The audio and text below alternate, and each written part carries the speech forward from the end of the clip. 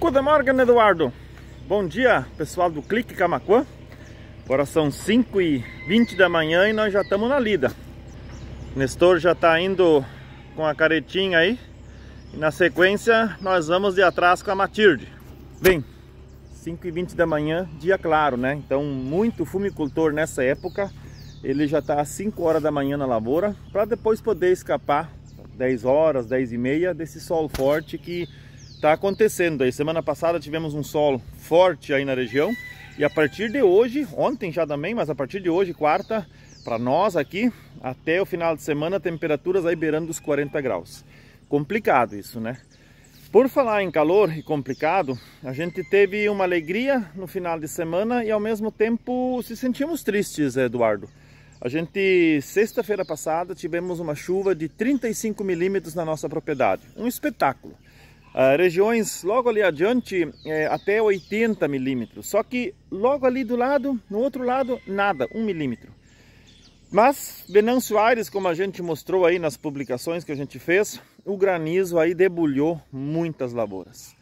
E aí a gente se entristece, né? A gente sabe da alegria que a gente teve aqui com essa chuva boa, mas a gente sabe que outros agricultores aí não têm o que comemorar porque não sobrou uma folha na lavoura.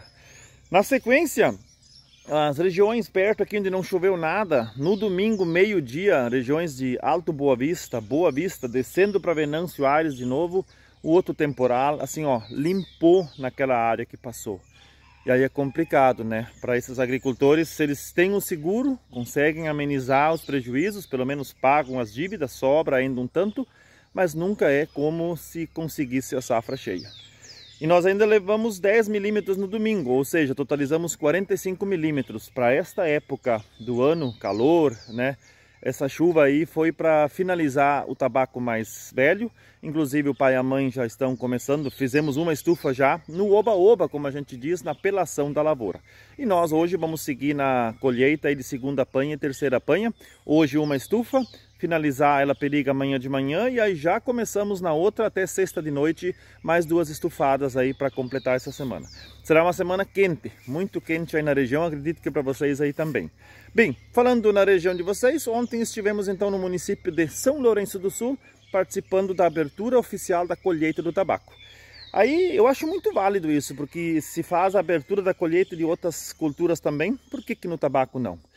Aí a gente viu alguns comentários, pessoas dizendo assim, fazer a abertura da colheita no final de safra. Então as pessoas têm que entender assim, Eduardo e o pessoal que acompanha o clique. A abertura esse ano foi decidida no município de São Lourenço. Não teria como fazer a abertura da colheita lá em agosto, quando o tabaco nem plantado ainda estava. Diferente de nossa região, que agora realmente já está finalizando, a gente esteve na propriedade ontem do Tiago, juntamente com a família dele ali, onde hoje vai se iniciar a colheita, vai se dar o início da colheita. Então, justo fazer a abertura no período que eles vão começar a colheita lá. Então, se alguns, como nós aqui já estamos finalizando, eles lá estão recém começando e a gente viu muito tabaco na região com bacheiro ainda e a flor para tirar. Então, foi por esse motivo que a abertura foi feita nesta época para valorizar a propriedade, a região e não teria nexo fazer fora do período. Valeu? Então a gente agora está indo, o pessoal já foi, né? Se eu me atrasar, sabe como é que é, mãe xinga. Um grande abraço a ti, Eduardo, um grande abraço a todo o Clique Camacuã e tamo aí. Valeu, um grande abraço, ótima semana quente para todos nós. Tchau!